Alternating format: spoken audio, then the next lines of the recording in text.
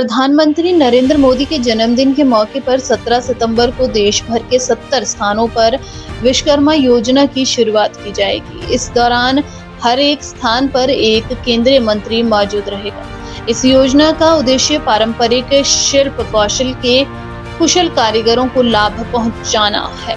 स्वतंत्रता दिवस पर लाल किले से पीएम नरेंद्र मोदी ने यह योजना शुरू करने की घोषणा की थी। शिमला में केंद्रीय मंत्री अनुराग ठाकुर इस योजना को लॉन्च करेंगे। शिमला में नेहरू युवा केंद्र संगठन के सहयोग द्वारा ऐतिहासिक गेटरी थिएटर में योजना का लॉन्च कार्यक्रम आयोजन किया जाएगा। उज्जवल हिमाचल के लिए शिमला से ब्यूरो रिपोर्ट। पीएम विश्वकर्मा योजना 17 तारीख को गेटी थिएटर में लॉन्च हो रही। लॉन्च तो द्वारिका में हो रही है, प्रधानमंत्री कर रहे हैं।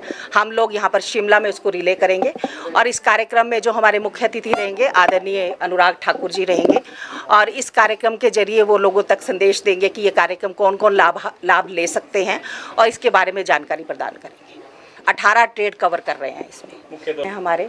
ये जो क्राफ्ट्स का जो भी काम करते हैं शिल्पकार जो है आपके मेसन है राजमिस्त्री हैं सभी लोग इसमें शामिल हो सकते हैं। हैंडीक्राफ्ट बेसिकली आपका जो हैंडीक्राफ्ट है जो भी हाथ का काम हथकरघा का है भेड़ बकरी वाले जो हमारे शॉल पट्टू बनाते हैं वो सभी लोग इसमें शामिल हो सकते हैं। हिमाचल प्रदेश के विश्वसनीय ज्वेलर भूषण ज्वेलर्स सोलन